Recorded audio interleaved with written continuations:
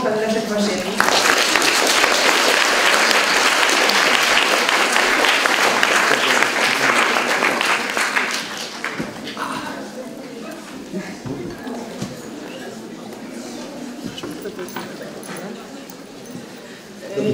Ja mam pierwsze pytanie. Skąd w 80, 88, prawie 89 roku pomysł na, na powrót do tematu Auschwitz, czyli Holokaustu? No właśnie, takie pytanie zaskakujące. Słuchajcie, no bo rzeczywiście jak e, dowiedzieli się moi koledzy, że postanowiłem zrobić film e, o obozie koncentracyjnym w Oświęcimiu, to wszyscy po kolei stukali się w głowę i chyba zwariowałeś, bo przecież już tyle było filmów e, o obozach, o wojnie, już tyle lat jesteśmy po wojnie, po co komu film właśnie taki.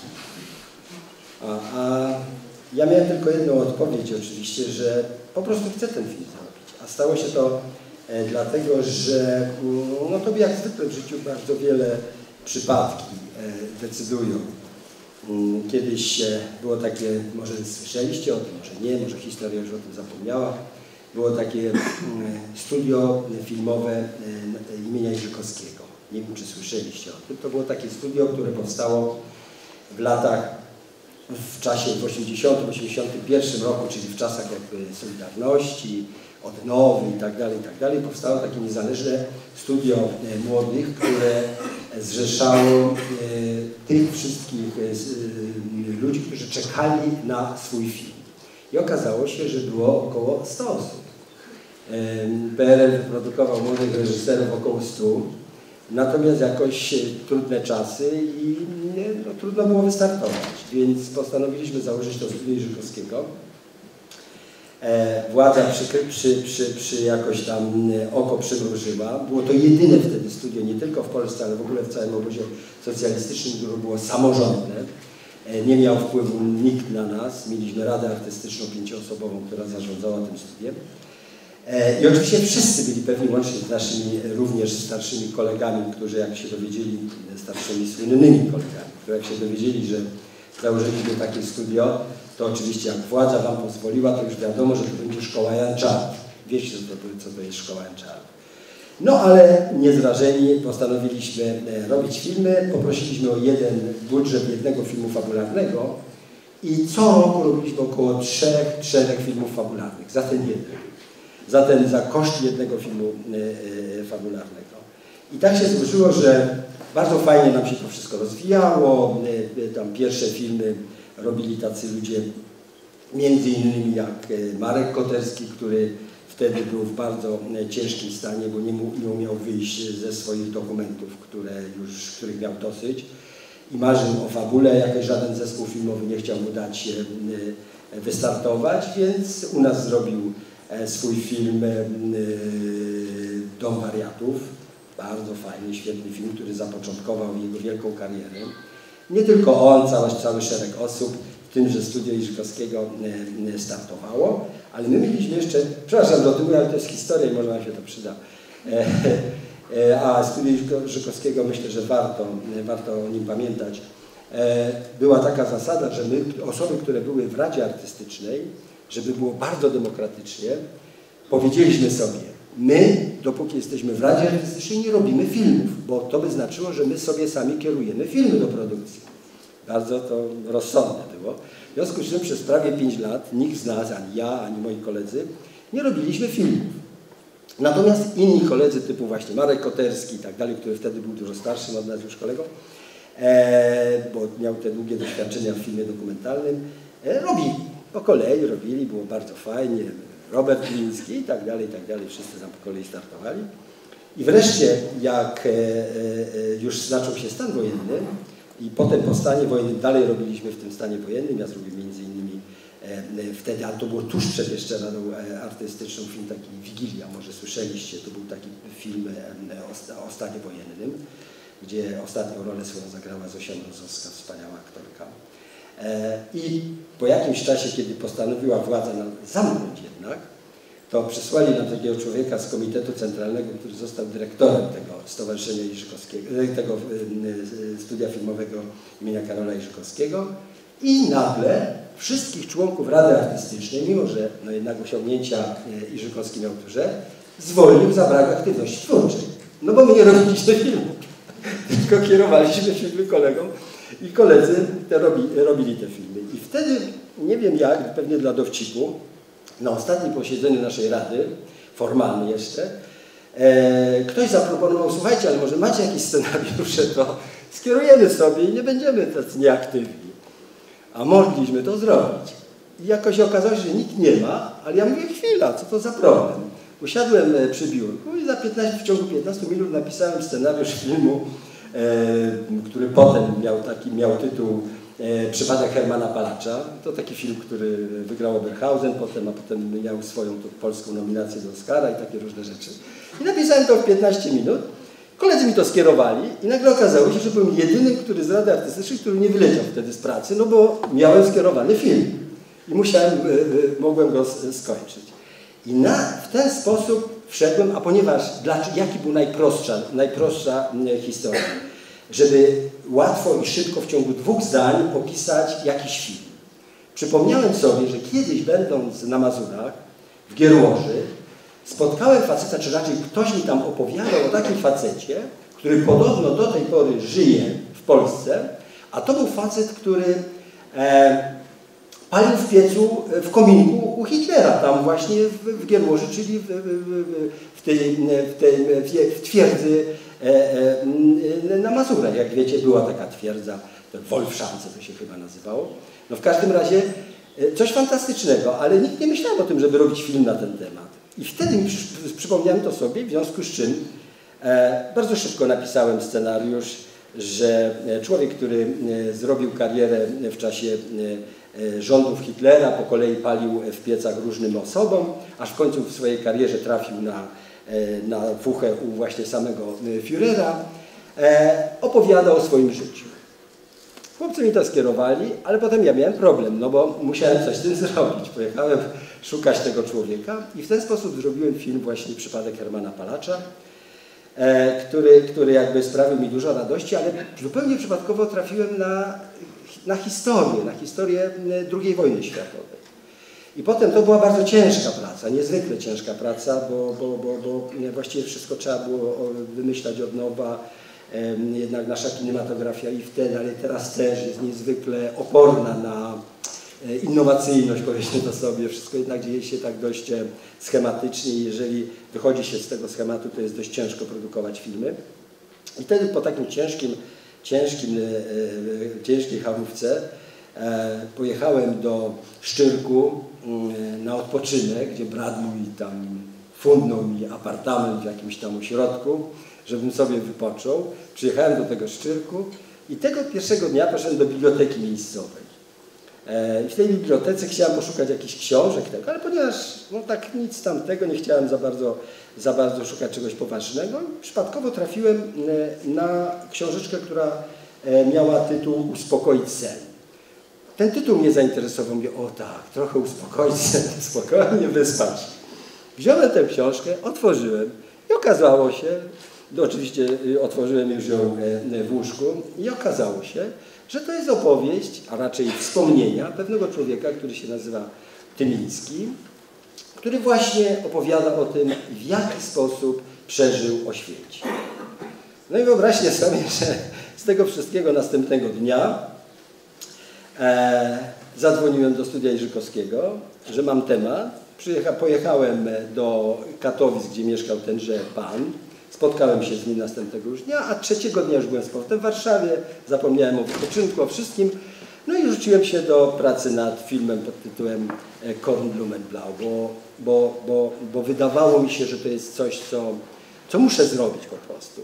A nie tylko dlatego, że zainteresowałem się mm, opowieścią o mm, II wojnie światowej, tylko tak jak wcześniejszy film, który mówił o karierze człowieka w czasach strasznych że ktoś robi karierę u boku jakiegoś strasznego faceta, jakim na przykład był Hitler, prawda? I potem e, trafiając, e, za, zafascynowało mnie w książce Tymińskiego, w jego wspomnieniach to, że opowiada o karierze w jakimś sensie, zawodowej również, robieniu jakby kariery w obozie zagłady. No coś niesamowitego. No. A ponieważ e, tak się złożyło, jak, jak, jak wracałem do domu e, ze studia Jerzykowskiego, ja tu mieszkałem e, e, na Dąbrowskiego, tam zresztą moi przyjaciele również mieszkali, przechodziłem zawsze, przejeżdżałem, przechodziłem na, koło placu, tam przy, teraz są ten, jest ten pomnik jazdy polskiej na polach mokotowskich. I tam się ciągle odbywały różnego rodzaju festyny. I pamiętam na tym festynie ujęło mnie coś takiego, to był chyba festyn Trybuny Ludu, gdzie był taki gigantyczny, gigantyczny transparent z napisem wszystko dla wszystkich. Ja pierdzielę, myślę, no to wszystko mam. A jak ja zobaczyłem jeszcze mm, w tych dokumentach obozowych właśnie taki plakat, czy coś w rodzaju takiego transparentu, gdzie było napisane Ares, Ales, Fil, Ales. I okazało się, że to, czyli wszystko dla wszystkich, to się odbyło, odbywało tego typu festyn odbywał się również w, w obozie zagłady. To, co tutaj się dzieje, trudno uwierzyć, ale tam miały koncerty, różnego rodzaju zespoły najwyższej klasy światowej. I balety, i to, i tamto, tego typu rzeczy się działy również w Oświęcimie, czego nikt nie odważył się powiedzieć do tego stopnia, że jak nie wiem, czy tę kopię, którą to była kopia e, e, z DVD, czy... Nie, nie, to normalnie. To chyba tam było normalnie, ponieważ e, jak od czasu do czasu oglądam, to w momencie, jak pamiętacie, jak nasz bohater dostaje za dobre sprawowanie kartkę, to on dostaje kartkę do burdelu. I we wszystkich tych kopiach jest, nie ma burdelu. A tu pan burdel, czy nie? Tak. No właśnie. Bo też było nie, nie do pomyślenia, że w, w Oświęcimiu był burdel. No tak, był burdel. Tak bo to była jakby taka mikrospołeczność, którą Niemcy stworzyli dla ludzi po to, żeby udawać, że e, resocjalizują ich. Czyli, czyli zakłada, zakłada poprzez resocjalizację. Wyobrażacie sobie coś, coś fajnego w tym. Dlatego, a ponieważ byliśmy no, nazwijmy to pokoleniem, które jakby urodziło się w sensie politycznym, bo wcześniej nikt się nam specjalnie z nami polityką nie zajmował, ale w sensie politycznym urodziliśmy się w czasach Solidarności, bo wtedy zaczynaliśmy mieć poglądy, zaczęliśmy się wspierać, kłócić i tak dalej, no to zaczęliśmy też patrzeć na naszą, na naszą otaczającą rzeczywistość w taki sposób. I mnie strasznie się to zrymowało, że znowu mamy obóz, a w tym obozie ale spirales, prawda? I mamy wszystko. I mamy szkołę, mamy uniwersytety, ale generalnie mamy obóz. I stąd jak gdyby, jak gdyby ten, ten, ten pomysł. Także akurat tak się złożyło, że e, właśnie film, który zrobiłem wcześniej, Wigilię, ona dopiero e, została zdjęta z półek w 1988 roku. Dopiero w 1988 i tak nigdzie nie była pokazywana, ale wolno było ją pokazać na festiwalu w Gdyni. I tak e, z tego powodu też była przedziwna sytuacja, bo Wyobraźcie sobie, Wigilia pierwsza po 89 roku, czyli już po tym cudzie czerwcowym, że już wolna Polska, już fajnie, wygraliśmy i tak dalej. I wyobraźcie sobie, że Wigilię, prawdziwą Wigilię, puszczają film o godzinie bodajże 17 czy 18, czyli wtedy, kiedy ludzie właściwie siadają, zasiadają do Wigilii, puszczają mój film w telewizji a to jest dość ponury film o stanie wojennym i tak dalej, i tak dalej. I przedziwna taka sytuacja, ja patrzyłem ze śmiechem, no i ciągle jest powtarzany, do tej pory zresztą, przy różnych e, okazjach. No bo coś takiego jakby e, się zdarzyło. I, i, i stąd jakby, przepraszam za taka przysługa odpowiedź na, na to pytanie, ale tak to się gdzieś, e, tak to się gdzieś stało, bo, bo, bo, bo bardzo mi się zrymowały pewne rzeczy totalitaryzmu tego hitlerowskiego, no jednak z totalitaryzmu, który nas otaczał. On był stokrotnie łagodniejszy, wielokrotnie łagodniejszy.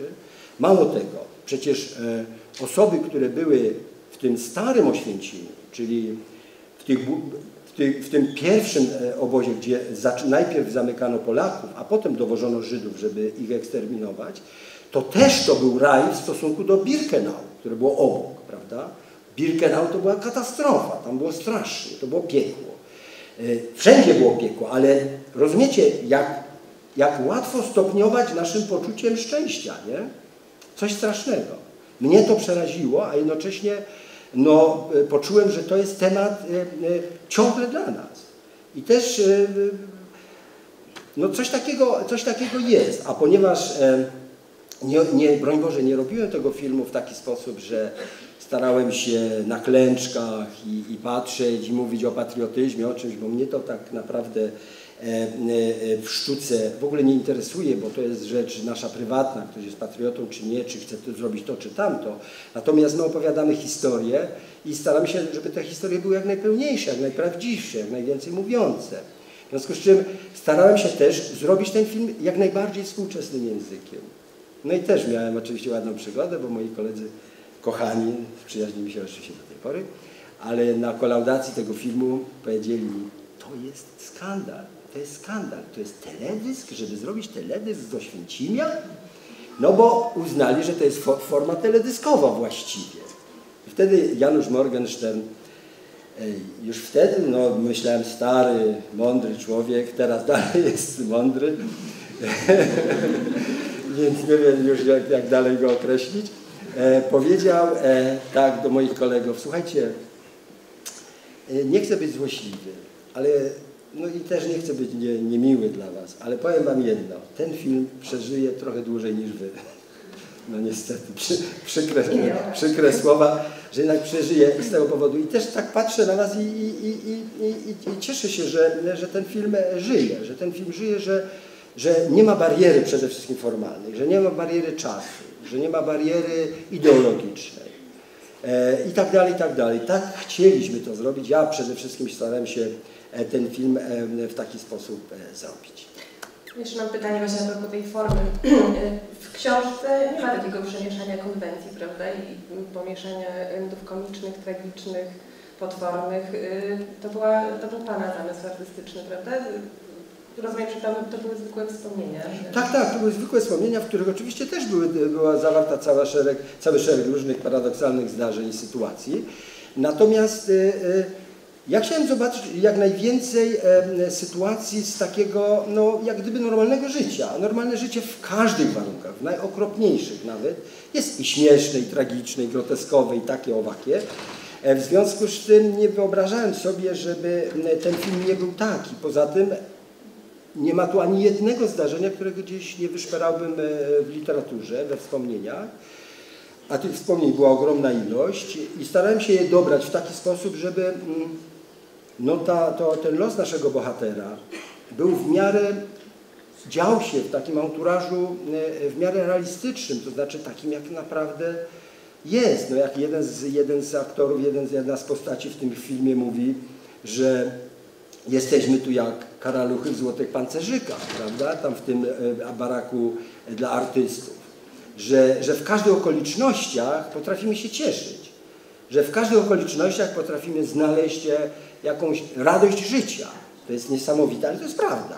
To jest prawda. I, i, i w związku z tym mm, y, ja na przykład e, wcale nie mam poczucia, że jak żyłem w obozie socjalistycznym, to rzeczywiście żyłem w jakichś strasznych czasach, strasznych chwilach, bo to była moja młodość, to było moje życie, moje miłości, moje cudowne życie. Naprawdę miałem fajne życie i mam ciągle.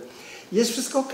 Także oczywiście patrząc na przyszłość, na cele, na pewne wartości i tak dalej, musimy być w jakimś momencie krytyczni, obiektywizując nasze życie, ale nasze życie na ogół jest takie, że staramy się znaleźć jak najwięcej radości, jak najwięcej takich e, ciepłych rzeczy, no bo, bo chcemy przeżyć jak najfajniej, prawda? To coś takiego jest. Proszę Państwa, y, oddam Państwu głos. Czy są pytania? Proszę bardzo. Chciałem zapytać się, jak pracowało się Panu i ekipie na terenie no, prawdziwego obozu? Jak, jak to wszystko wyglądało z jak załatwieniem pewnych formalności, jak e, aktorzy, mając świadomość tego, że są to prawdziwe miejsca, e, prawdziwe no, ściany, budynki, to coś otacza, e, jak, jak, jak, jak grali, jak się zachowywali, jak to wyglądało?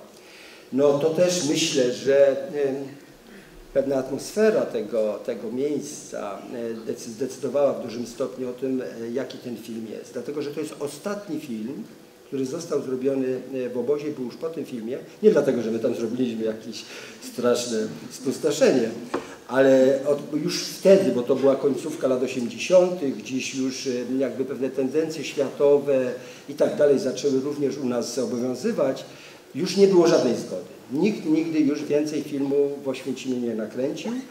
E, to był, na, to był ostatni film, który tam został e, e, nakręcony. Ale rzeczywiście atmosfera była niesamowita. Atmosfera była absolutnie niesamowita i e, pierwsze trzy dni tak dużo było wypadków najrozmaitszych. Mój reżyser, wbiegając do baraku, walnął tak głową, że miał ciężkie wstrząśnienie mózgu e, i z trudem go odratowano potem i już do, do zdrowia specjalnie nie wrócił. Niestety. E, masę różnych rzeczy się zdarzało. Ekipa patrzyła na mnie, a też ciągle jakoś tak mówiło się, że to jest ostatni film e, taki dla, dla ludzi ważnych, który powstaje po Munku, po pasażerce Munka. Munk zginął w trakcie kręcenia w wypadku samochodowym pod Łowiczu, zginął pod Łowiczem, zginął właśnie w czasie kręcenia tego filmu. I przez pierwsze trzy, może nawet więcej dni patrzyli na mnie, e, cała ekipa patrzyła na mnie jak na właściwie żywego trupa. Tak czekali, kiedy mnie, że tak powiem, szlak trafi. E, a ponieważ zdarzył się czwartego dnia e, kręcenia, kiedy na samym początku chcieliśmy, wykorzystując pewne okoliczności i tak dalej, zrobić scenę, którą tutaj widzieliście, inaczej już nakręconą, zagazowywania ludzi. Zrobiliśmy to w prawdziwej komorze gazowej, ja wszedłem z Krzysiem Ptakiem e, z kamerą do środka. Mieliśmy w komorze gazowej 100 osób, kobiety, dzieci, mężczyźni, e, wszyscy nadzy, do tego 20 kaskaderów, którzy miotali tymi ludźmi, też gołych, żeby był wielki ścisk i tłok. My w środku z kamerą, e, niesamowite sytuacje, czasami nawet znowu groteskowe i śmieszne, jak Krzysiek tak kręcąc film, ja widzę, że co chwilę ktoś tam mdleje i te omdlałe postaci ludzie przenoszą tak pod, pod sufitem, rękami przesuwają w kierunku wyjścia, a tam już karetki pogotowia czekały. Słuchajcie, no koszmar, absolutny koszmar. Ja to w pewnym momencie mówię do, do Krzyśka, słuchaj, przerywamy, przerywamy. A tu wrzask, krzyż, oczywiście, a jeszcze wszystkich oblewaliśmy kompotem takim, z takimi glutami, żeby to, no wiadomo, no bo tak było naprawdę. No. No chcieliśmy uzyskać jak najlepszy rezultat, taki prawdziwie filmowy, no. Szliśmy na całość. I wyobraźcie sobie, a zresztą pięknie Krzysiek wtedy zareagował, bo tak e, e, obtarł tylko licznik na tej kasecie, bo zamglony był oczywiście, tak opowiadał i mówi, jeszcze półtorej minuty. w ogóle nic nie wchodziło. I oczywiście po tym wszystkim, kiedy ja już skończyliśmy te kasety skręcić, ja wybiegam na zewnątrz, tu pokotem leżą jakieś panie, e, e, coś takiego. Ja, ja do nich podchodzę, próbuję jakoś je e, e, uspokoić, a one chwytają mnie, bo wszystkie zaczadzone, chwytają mnie za ręce. Panie Juliuszu, a wspaniale było, wspaniale było. Były tak za, za, zaczadzone, że nawet nie chciały wchodzić do tych karetek pogotowia, które tam lekarze, którzy je ratowali. Nie, odby, nie było żadnych, żadnych problemów, wszystko się jakoś odbyło w porządku. A przepraszam, jeszcze mam pytanie. Nie był Pan krytykowany za naturalizm czasem? Yy, ale ja tylko dokończę tą historię. Ja tylko dokończę tą historię. I teraz jak to wszystko przeszliśmy, te 100 osób, te to i tak dalej, ci kaskaderzy. Niestety, mówię znowu, życie przewija się potem z tego wszystkiego. Była pewna pani w ciąży i niestety jeździła za ekipą i szukała tego kaskadera. No niestety, no straszne rzeczy, ale takie jest życie, no. Takie jest życie, no. W związku z czym może ona udawała, może udawała, może próbowała znaleźć kozła ofiarnego. Nie wiem. W każdym razie coś takiego było i wyobraźcie sobie, że po tym wszystkim, po tym wszystkim czekamy w kinie. Wysłaliśmy, bo to była taśma czarno-biała, bo chcieliśmy uzyskać efekt jak najbardziej taki archiwalny, prawda? Ta taśma opisana wielokrotnie, czarno-biała, e, oczywiście tylko zupa dla czarno-białej, bo zupa, czyli ten e, e odczynniki i tak dalej, gigantyczne napisy z wykrzyknikami. Pojechał specjalny kierowca do Łodzi, żeby to wywołać i tak dalej. Po czym następnego dnia przewozi ten materiał, siadamy w kinie, no dopuszczajcie, ja sobie siedzę, mówię, kurczę, ale mamy materiał, ale mamy materiał. No i tak prr, prr, coś tam mruga na ekranie, mruga. Ja mówię, no kurczę, no puśćcie wreszcie ten film. Ale cisza jakaś taka. Mówię, zaraz, co jest grane? No puśćcie wreszcie. Zacząłem krzyczeć. Nic, cisza. Wreszcie podchodzi taki trzęsący się kierownik produkcji, jak mu ręce drżały, przychodzi i mówi, słuchaj, to jest film. Ja jak to? No to jest film, tyle zostało. Okazało się, że tę, tę taśmę, którą myśmy nakręcili, włożyli do tak właśnie zupy kolorowej, czyli za wysoka temperatura i cała emulsja spłynęła. Wyobrażacie sobie? I powtórka. Wy Wyobrażacie sobie? Czyli co się stało? Tym, po tym wszystkim ekipa już absolutnie wiedziała, że ja już nie żyję. To już 100%. Tak patrzyli na mnie, aha. Jak ja coś mówiłem, no, no, tak, dobrze. W ogóle nikt się niczym nie przejmował. Byli przekonani, że jest koniec. I pewnego wtedy, i wtedy ja powiedziałem tak, i decyzja była następująca, ktoś tam mówi, ale przekręcamy to wszystko. Ja mówię, przekręcimy, ale już w wytwórni łódzkiej, nie w prawdziwym miejscu. Zrobimy to tak, że to będzie tak samo mocne, ale zrobimy to środkami filmowymi. A teraz, to było następnego dnia rano, mam 10 scen do zrobienia. Jeżeli nie zrobimy ten tych scen, albo jeżeli mnie szlak nie trafi, to, albo jak mnie szlak trafi, to przerywamy film. A jeżeli przeżyjemy te 10 scen i mnie szlak nie trafi, to ja wam mówię, że zrobimy ten film. I wyobraźcie sobie wtedy te wszystkie sceny, takie jak z tym gwoździem robiliśmy, bardzo fajne, takie, jak, takie różne rzeczy. Zrobiliśmy te 10 scen. Słuchajcie, cisza. Udało się. Wchodzimy w następne miejsca, nie ma problemu. Mamy scenę w, w, w celi śmierci. Ten chłopak, który jest zamknięty, pamiętacie, e, tam dostaje takie, takie różne e, od szefowej, od, od, od komendantowej różne podarki, żeby przeżył i tak dalej. To on, e, to jest, robiliśmy to w prawdziwej celi śmierci. Te rysunki i tak dalej, oczywiście przez nas zrobione, akurat w tej celi, ale były odwzorowane z rysunków z innych celi. I w pewnym momencie było tak, że zaprosiliśmy pewnego plastyka z Katowi, z, z ASP z, z, z, Krakowa, który się spóźnił i nie przyjechał dość wcześnie i nie mógł nam e, zrobić na czas te, tych wszystkich rysunków, więc nagle ktoś pomyślał, jakiś szaleniec, no to go zamkniemy tam w tej celi i niech on na rano to zrobi. A mówi, dobra. Ja mówię, rany boskie, o niczym nie słyszę, wychodzę. I wyobraźcie sobie, zamknęli tego faceta, e, e, tego bardzo zdolnego młodego artystę w tej celi śmierci i on tam zaczął rysować te wszystkie rzeczy, oczywiście tak jak oni to robili e, takimi kawałkami cegieł, w związku z czym one wszystkie są takie lekko podczerwione, wywienione. Dlaczego? Krew z palców. Bo to wszystko jest krwią malowane, właściwie wszystko. I ten człowiek, jak ja następnego dnia przyszedłem, raniutko, godzina ósma bodajże, przychodzę, otwieram, to wchodzimy do tej celi i nagle okazuje się, że ten facet jest jak duchem. No. Kazałem go, tam, tam go widać, ja go kazałem przebrać od razu w, w, w, w, ten, pasiak, bo wyglądał jakby tam dokładnie był, jakby on naprawdę był w tej celi śmierci. Nakręciliśmy tę scenę, było tak, że każdy dubel, każdy dubel był do wzięcia. Coś się takiego stało, że no powiedzmy to sobie, duchy tego miejsca w jakimś momencie uwierzyły nam, że nie będziemy bezczyścić. Raz zrobiliśmy błąd, że weszliśmy do, tej, do, tej, do tego miejsca. Ja potem postanowiłem, że już więcej nie, a mieliśmy bardzo czyste intencje i chcieliśmy to jak najczyściej zrobić. W związku z czym coś takiego się stało. I wyobraźcie sobie, że od tego momentu nie było ani jednego problemu. Wszystko. Do tego stopnia, to było pierwszy raz w tym dziesięcioleciu albo dwudziestoleciu, potem się już zaczęło to zdarzać, w październiku, 10 października zrobiła, a mieliśmy tam też zimowe sceny, zrobiła się zima, minus 20 stopni. Ten lód, to wszystko, co tam jest, to jest 10 październik. Wtedy akurat dwa tygodnie wyrobiliśmy wszystkie sceny, ociepliło się, skończyliśmy resztę. Wszystko, wszystko, wszystko, wszystko wychodziło. Także coś takiego przedziwnego e, w tym było. Ja wiem, że z filmowcami jest tak, no wchodzą w różne miejsca, robią różne rzeczy, najczęściej mają dobre intencje, ale my zderzyliśmy się no, rzeczywiście z, czymś, z czymś takim metafizycznym, absolutnie niesamowitym.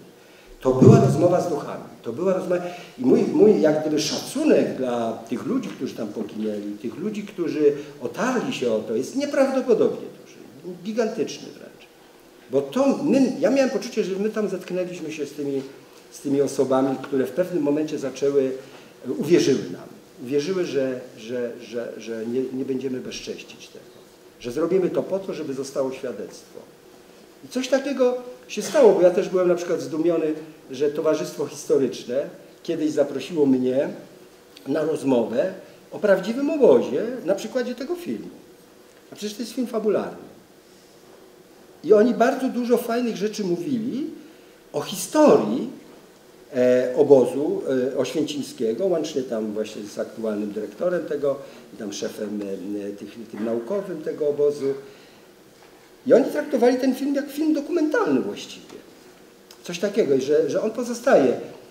Do tej pory cały czas e, uniwersytety amerykańskie wypożyczają, biorą ten film, oglądają tam ten film, chcą go widzieć i, i coś takiego jest, że no, on pozostawia jako właściwie dokument. No. To niesamowite. Także, także, także coś takiego e, e, się stało, bo już tej atmosfery nie ma tam, a jednocześnie my mieliśmy tę e, odwagę z jednej strony, ale z drugiej strony tę determinację, żeby spróbować zrobić obóz jak gdyby naprawdę. Te rysunki były naprawdę na ścianach. Te krawężniki były pomalowane na biało. Tam piekło było to tylko w tych piwnicach, w tych miejscach, gdzie umierali, w tych szpitalach i tak dalej. Na zewnątrz musiało wszystko wyglądać jak w obozie y, jakimś młodzieżowym za PRL-u na Mazurach. No, tak musiało być. Wszystko świeciło czystością. Mimo, że taka ogromna ilość tam ludzi była. To jest, to jest właśnie, e, właśnie jakby takim fragmentem prawdy, e, o tej strasznej prawdy, o, o tym, co się dzieje. Jak łatwo fasadę przykleić do straszliwej katastrofy. Strasznie łatwo jest. To jest bardzo interesujące, bo ja wcześniej na wykładzie, wprawdzie niezbyt fortunnie się pytałem o tę jakby estetykę kina wojenno-obozowego, która nastąpiła w latach 70., ale teraz zadam pytanie. Jak Pan przeczytał ten pamiętnik, to czy Pan miał jakieś przemyślenia, no nie wiem, chłopiec, czy tam wcześniej Pan studiował, bo już jakieś filmy o obozach były i, na pierwszy rzut oka, czy coś takiego w Panu było, ja bym to inaczej zrobił, czy coś takiego. Bo ja jako widz miałem takie napięcie, że one są zbyt jednostajne, taki Władzy wśród wilków, nawet Kapos, taki kiedyś słynny film, że jest ta wizja nie y, taka, że to jest jakby może nie piekło, ale takie bardzo szare, czy coś takiego. No więc y, coś takiego rzeczywiście było. Wie pan, że mm, kiedy zobaczyłem jakby y, w tych pamiętnikach pana Tymińskiego właśnie taki kolorowy, cudzysłów, obóz, pełen życia, pełen y, namiętności i tak dalej, i tak dalej, to od razu wiedziałem, że to jest dla mnie fantastyczne pole do popisu, ponieważ z czym się mogłem zmierzyć? Albo zmierzyć e, z estetyką e, ostatniego etapu, który absolutnie jakby mnie nie odpowiadał. Zresztą potem em, e, też powstał e, podobny film e, e, o obozie, gdzie nawet trawy nie skoszono, a trawa była taka. E, Film fabularny, jak doskonale wiecie, tam był taki głód, że każde źdźbło trawy zostało zjedzone. Tam nie była szans, żeby była taka trawa, a oglądaliśmy film wyprodukowany w Polsce o Oświęcimiu, gdzie jest taka trawa, bo tam normalnie trawa rośnie taka wysoka, bo jej nikt nie szczyże, ale w trakcie obozu nie mogło, w pracy tego obozu tak nie mogło być. I między innymi wkurzył mnie strasznie film słynny, znany, Sophie's Choice. Z, y, tak, z, z, z, z, z słynną Sophie's Choice, wybór Zofii. Tak, tak, tak, tam- Ponieważ to było dla mnie tak wręcz obraźliwe, peruka tej Meryl Streep, taka nieprawda, takie kłamstwo strasznie tego świata, że pomyślałem, cholera, no my tu jesteśmy na miejscu, musimy zrobić coś, co jest bliskie prawdy, a nie taka przedziwna mieszanina kina hollywoodzkiego z sentymentalnymi e, różnymi sprawami, niby słusznego, niby fajnego, ale jednak strasznie zakłamanego w sensie prawdy, takiego powiedzenia o ludziach. I to był impuls dla mnie, że to był rzeczywiście impuls. Tak. To jest film obozowy, ale dla mnie był to wstrząs, że ja bym chciał tak widzieć filmy historyczne, groźne, jak Adale 31 Wideberga, że, że jest i błękitne niebo, i krew się leje, Tak. jest zielona trawa, coś takiego. No tak, Na tam 70 rok. no tak, tak, tak. No dobrze. Proszę Państwa, czy są Strasznie pytania? się narozgadałem. To jest to tylko jak moł, przepraszam. Chopina, Chopina gra y, y, nasz artysta. Tak przeszło. Mi się wydawało, że Niemcy w pewnym okresie zakazali grać. Oczywiście, on był zakazany, tylko Chodzi o to, że w pewnym momencie nasz bohater poczuł się tak świetnie, a wszyscy byli w koło tak pijani, że im było wszystko jedno i on grając te skoczne melodie niemieckie nagle przeszedł na Chopina i wszyscy się cieszyli. To była jego, jego, jego zachwyt i tak było naprawdę z, z, z Tymińskim, który takie rzeczy wyprawiał, ponieważ e, e, wszyscy byli pijani, nikt nie zauważył, że kto z jakichś żołdaków niemieckich zna Chopina. Zwłaszcza, że był zakazany. Tak, a on w ten sposób poczuł się silny, wielki, wspaniały, za co zresztą został nagrodzony, a równocześnie, jak wiemy, e, e, zemścił się na nich, a potem jeszcze mu i, jego kolega napluł do zupy tym e, oprawcom. I to był jedyny sposób na to, żeby się im e, jakoś tam zrewanżować za to wszystko. Słucham. Ja mam pytanie o ten wątek e, z więźnia- z więźniakami, gdzie tam on się odwraca i e, Adrianna Wietrzyńska się odwraca. I na ile ten wątek był ucięty, a na ile celowo on był nierozwinięty? Bo wydaje mi się, że przewodniczką tych więźniarek chyba, chyba ją grała e, Grażyna Szapołowska, jeżeli dobrze Nie, to była moja druga reżyser. Ona podobna bardzo, ale nie, nie, nie, nie, to nie była ona. E, To, mm,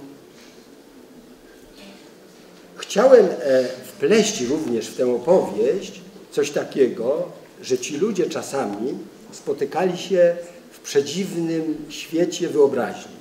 Spotkał raz, spotkał drugi i był zakochany na śmierć.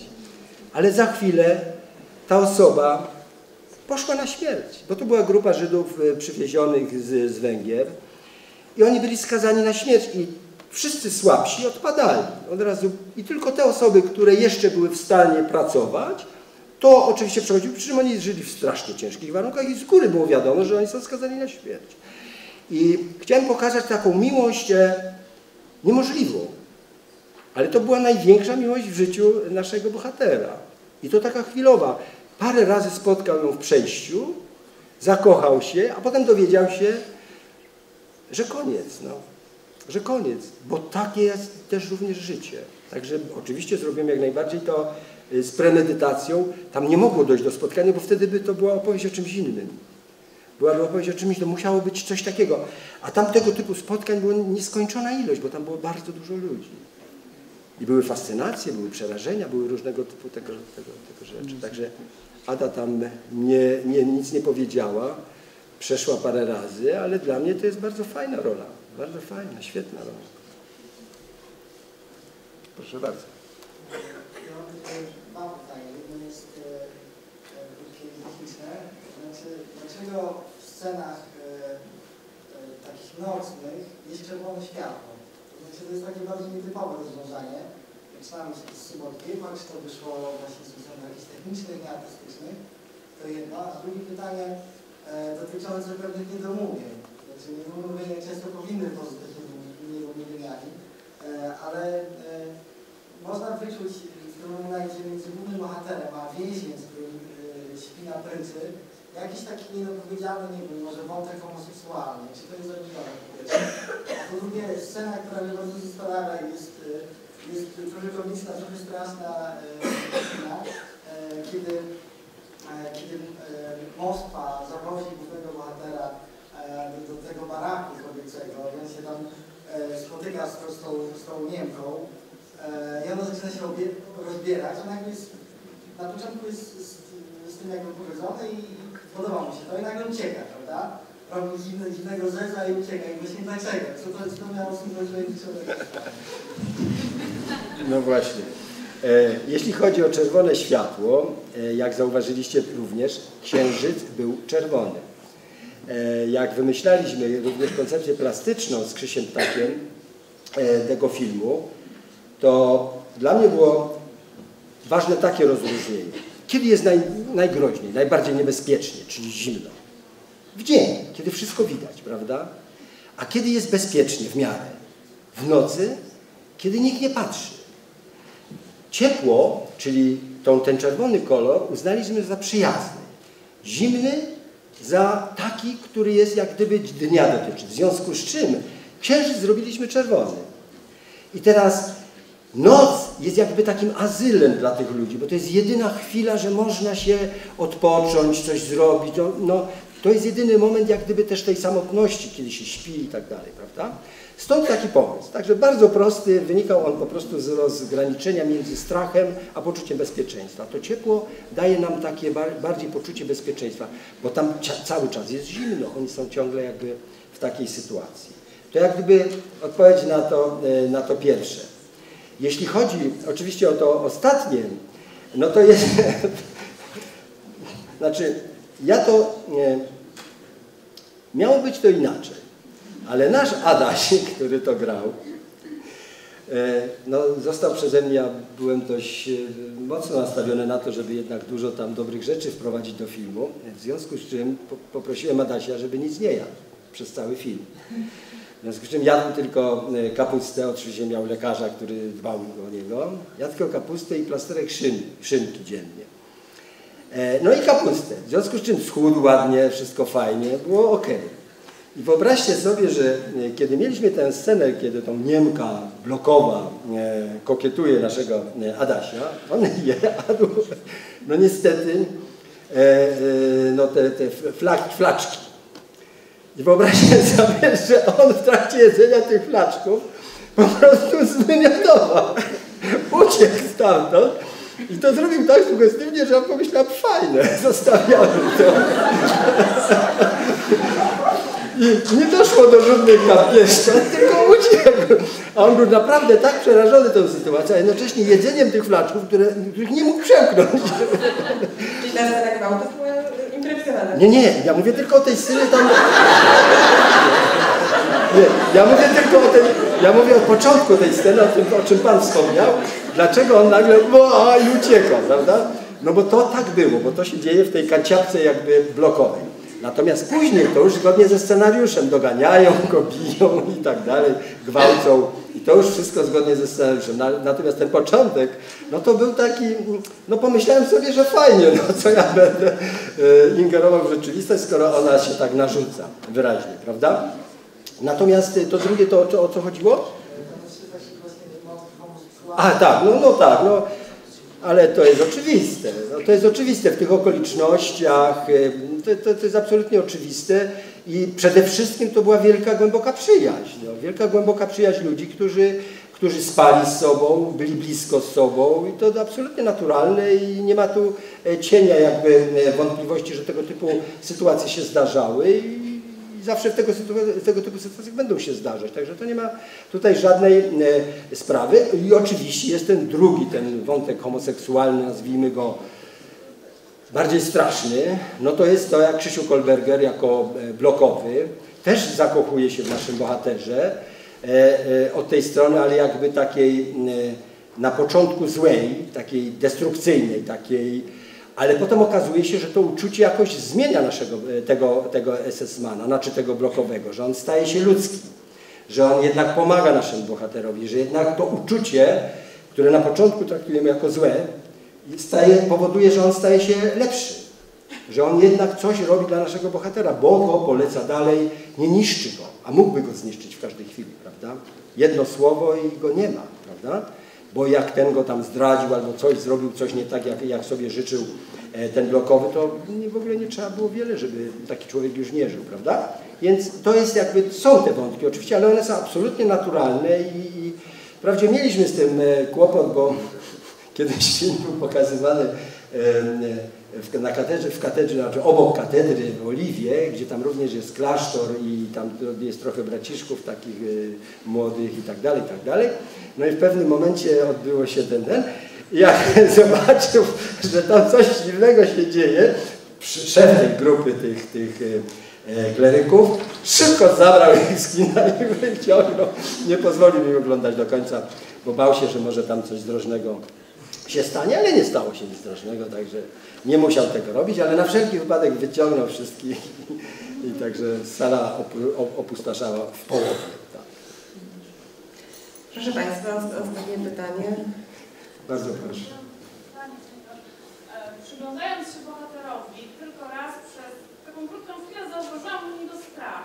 I czytając te wspomnienia obozowe, inne, tam właśnie u tych ludzi, którzy byli w obozie, strach jest bardzo częsty. Czy to było w pamiętniku, który Pan czytał, na którym Pan oparł scenariusz, czy to był taki Pana właśnie tak, taki między innymi e, nie tylko to, co było w tym pamiętniku, ale również moja rozmowa z panem Kazimierzem e, e, Tymińskim właśnie nasunęła mi ten, ten sposób patrzenia jakby na bohatera, ponieważ to jest e, zresztą znany w literaturze, w życiu, ale też w literaturze taki bohater, który z uśmiechem podchodzi do wszystkiego. Bądź pogodny, myśl pozytywnie, a wszystko będzie dobrze. I to jest taki człowiek, co, e, którego jakby biografia cała od samego początku, bo to już włączyliśmy w opowiadanie również e, w, tym, w, tym, w, tym, w tej preczołówce, kiedy opowiadamy o jego ojcu i tak dalej, że ojciec tego go nauczył. Bądź zawsze uprzejmy, dobry, nie pchaj się gdzie nie trzeba. Czyli to była opowieść, to jest opowieść o takim człowieku spolegliwym. O takim jednak trochę konformiście, prawda? Który zagra każdemu. I, ale okazuje się, że to, że w momencie, kiedy na przykład e, jakiś tam e, facet e, zbierający trupy i tych muzułmanów, bo tak się ich nazywało, tych takich dogorywających ludzi, podnosi głowę naszego bohatera i nie widzi zaplutą, zażyganą twarz zdechlaka, którego trzeba dobić, tylko widzi nagle kogoś, kto się promiennie uśmiecha, a on się akurat uśmiecha do swoich wspomnień, jakieś miasto, jakieś, jakieś wózy z, z, z, z, pieczywem przejeżdżający ulicami Warszawy, wszystko fajnie i się uśmiecha. Ten uśmiech spowodował, uratował mu życie. To jest to.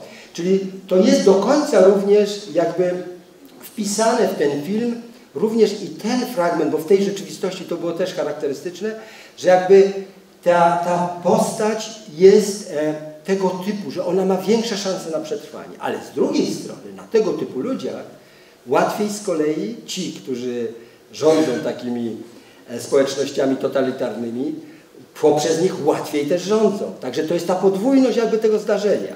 To go uratowało, ale z drugiej strony łatwiej innym było rządzić. Teraz tę scenę, kiedy on wsiada do pociągu radzieckiego. I gra Rosjano.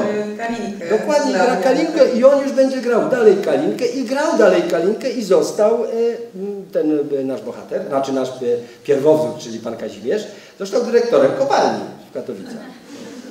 Także jakoś mi się poskładało. Widział? Tak, tak, tak, oczywiście. On, on, on niestety już dość dawno nie żyje. No nie, no, był wzruszony bardzo i, i, i tam jego koledzy byli wzruszeni. Nie, no ale to ja, ja, ja tylko mogę być, no mogę tylko e, cieszyć się, że widział i że nie miał nic przeciwko temu, ale nie dziwię się, że ludzie, o których się robi filmy, nie mają nic przeciwko temu, bo powiem Wam szybciutko jeszcze taką anegdotkę, jak w stanie wojennym nasza koleżanka Marysia Zmarsko-Trzanowicz, taka bardzo dobra, świetna e, dokumentalistka, może słyszeliście o niej, tak, to ona e, zrobiła film o facecie, który e, w takich, e, bo to były takie komitety ratowania wrony, tam, to tam, że, no, no, przeciwieństwo do tych, którzy próbowali ratować Solidarność, to tacy, że się zabierzmy się razem i bądźmy za Jaruzelskim. No i właśnie był, o, zrobiła film o facecie, który był, e, e, został przewodniczącym koła gospodyń wiejskich na wsi.